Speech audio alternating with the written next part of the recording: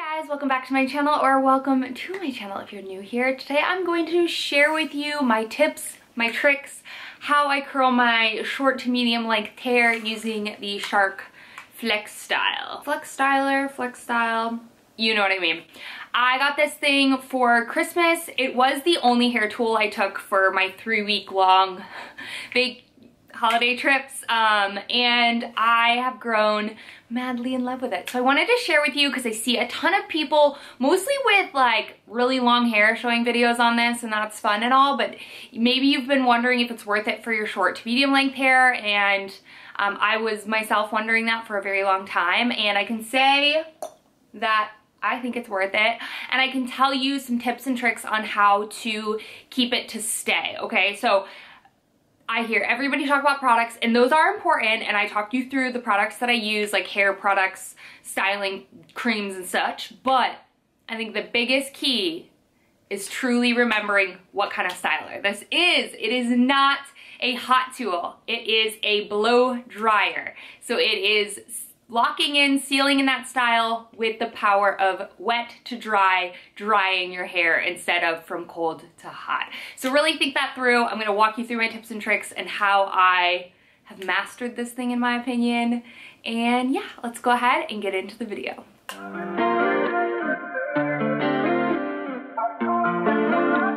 All right, so First step, I want to talk about products, okay? Because I think the major misconception is you have to use a ton of products for your hair to stay, which yes, you want to use the proper products for your hair type um, to hold this style if you want it to hold for a while, which you probably do. So I'm going to talk through some of my favorites, talk through the ones that I think are necessary and the ones that I don't think are that necessary.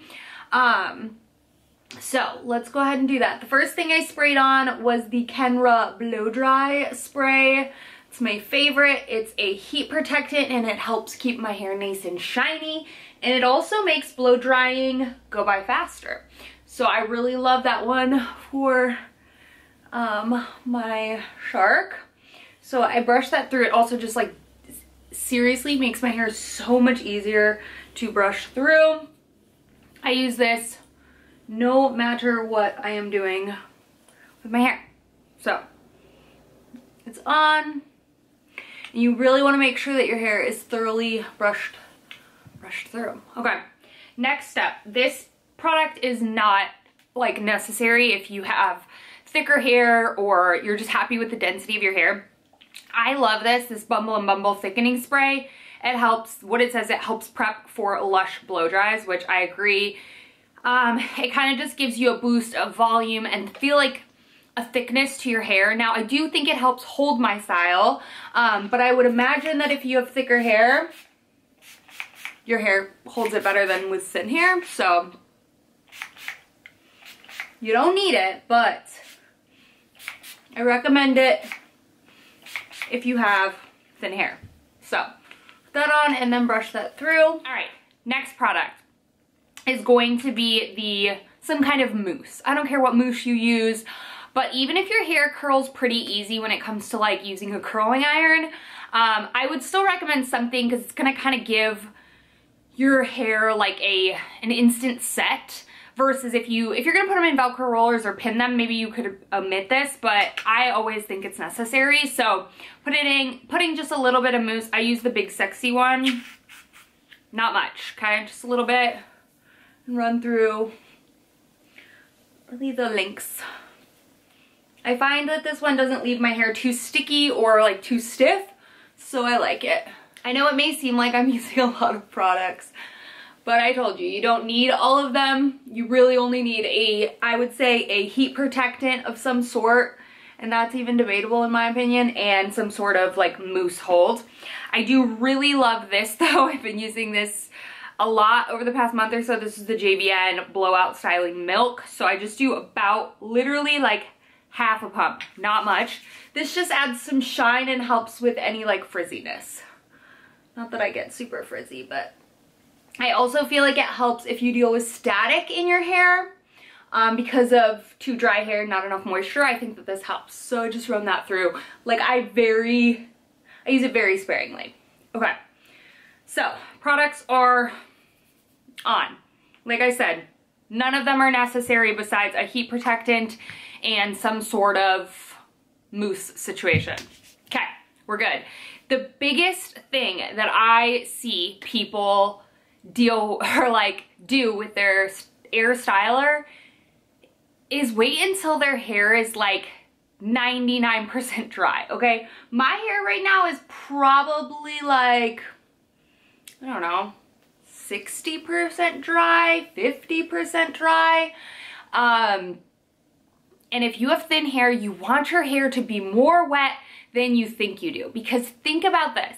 An air styler, the only way that it is curling your hair or blowing your hair out is from taking wet hair to dry hair versus a traditional curling iron, which is taking dry or um, straight hair, sorry, versus a curling iron, which is taking cold hair and moving it to hot hair. So think about that this blow drying tool is not setting your curl or creating your curl with heat.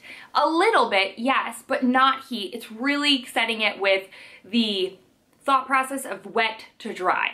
So that's a big thing that I think I see. A lot of people, especially if you have like fine hair or whatever the case may be, if your hair is not pretty wet, then you're styling dry hair and you're not gonna get a good result from it. You might as well just use a curling iron, okay?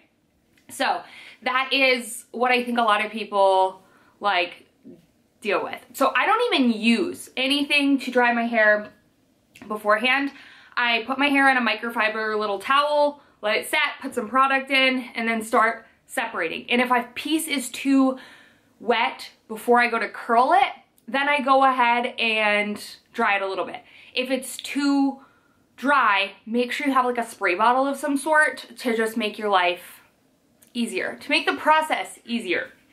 So let's go ahead now and start separating whatever works best for you. I have pretty short Whenever I say I have short hair, people are like, you have medium hair. Okay, well, it's still, it's still pretty short, okay? so I like to take the top and I like to do one side at a time also. And I'm gonna flip her over and I take just some little metal clips and go ahead. You want to do, think about separating your hair like horizontally because you're gonna be grabbing vertical pieces but you don't want them too big. And I really don't curl a ton at the bottom because at the end of the day, my hair is so short down there that it really doesn't, it doesn't matter. it doesn't really hold the curl down there anyways. And because your hair is short, I feel like the top layers are all that really matter. So I do split my hair into about one, two, three, four sections. Even though I have thin hair, I have a lot of it. So you still want some dampness to your hair. You don't want a ton of dampness at the root, but you want some dampness still on your hair. Okay. Next, you want to pick the curling iron. It says left, right, whatever. The curling wand. Okay. I always have my settings on the highest um, airflow and the medium heat. I go ahead and grab a section. You'll know if your section is too big. Um, and then I hold it for about 10 to 15 seconds depending and then hit it with the cool shot for another 10 seconds and then let it go. So let's go ahead and get into the process. So I take uh, about a section that big, maybe like an inch, inch and a half. You wanna make sure, that's why we brushed our hair a million times, you wanna make sure your hair is brushed. I hold it like right in the middle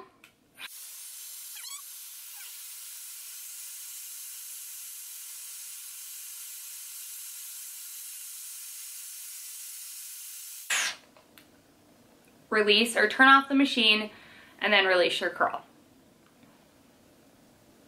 You can always set it at this point or just leave it.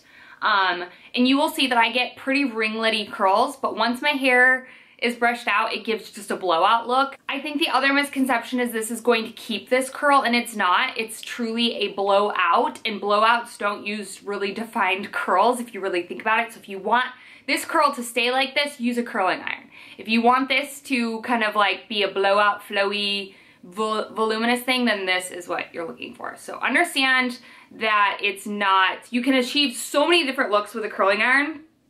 You can not achieve a ton of looks with this guy. It's truly a blow dryer. So let's go ahead and move on to the next piece and let's just keep going.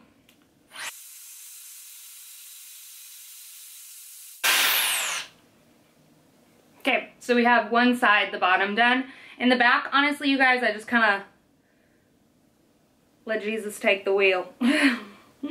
okay, once I'm done, I said it was something. Again, this is optional, but I like to set it because I feel like helps stay a little bit longer. I just like this, this full, full volume texture spray. It's like a hairspray, dry shampoo, all in one.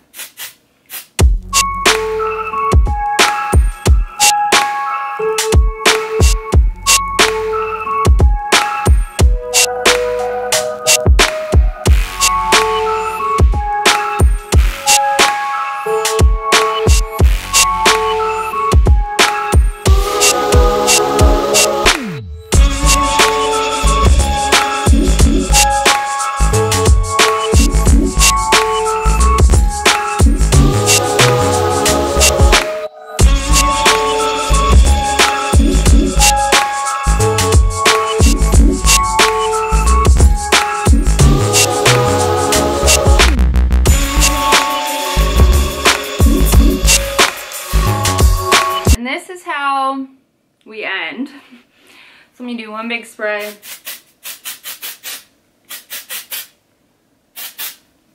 This side is still like, cooling a little, so let's wait for them to fully cool before we brush it out. But you're going to see that it's going to go from like these ringlety sort of curls to just kind of like an overall like voluminous look, which is what I'm going for. And sometimes when I'm flipping my hair onto this side, this side gets a little wet, so I will just touch up these root parts if I need to, like I touched up my bangs. Um, yeah, so that's not, let's go ahead and brush out this one side. You can see it's starting to just give movement, but you're not getting the super curly curls. You can see I have some like under, some over, or some flipped under, flipped out sort of curls. You can see from this to this, I love it, okay? I will say the really cool thing about this also is that you can kind of control the direction by smoothing it all into one direction. You can get the full flip under, see? Or you can take and flip it out. So it's super versatile. I like a little bit of both. Naturally, it will flip under for the most part for me, but you can see I have just one start of a curl. So if your hair was longer, you would continue with that curl, if that makes sense. But volume, some movement, flow, and it will come down. I mean, obviously this is insanely poofy right now, um, but it will come down and I have just been loving this look, you guys. All right, so you guys, that's it. That's how I style my hair. I will say from start to finish, it probably takes me about 20-ish minutes. Now, I don't do this full thing every single time. Sometimes I'll just do small things. Sometimes the bottom of my hair doesn't even really need it because or I'll just like curl it under. I'll do something quicker. Sometimes I will alternate layers and do just flip under, flip out. That will also give me a very similar look as well. Um, but yeah, this is it, you guys. This is how I do my shark on medium to short length hair. And if you are struggling with getting it to stay, if you are struggling with um, how long it takes you, whatever the case may be, I do recommend those products that I talked about in the beginning. Um, specifically a mousse and a heat protectant. That blow dry spray is amazing. Like it gives so much good shine, but it also blow dries very fast. Um, and then the other thing is really ask yourself, is your hair damp? Because if it's not, it's not going to stay. So that's it, you guys. So I love the look I'm able to achieve. 20, 25 minutes is good for me because I don't have to blow dry and then curl my hair. Um, and I'm also not somebody who typically blow dries and then curls my hair in the same day. I'm typically somebody who will blow dry it and then curl the next day. So I can kind of get that achieved look faster in my opinion um, with that guy. So I do recommend this guy. I do recommend you get it. Um, if you can on sale. They always are having some sales uh, or use your Ulta points or something like that. I did get mine for a gift from Costco because in case anything happened, I knew I could return it at Costco. So that's it, you guys. I hope you enjoyed. If you have any other questions, let me know in the comments down below. And I'll see y'all in my next video very, very soon.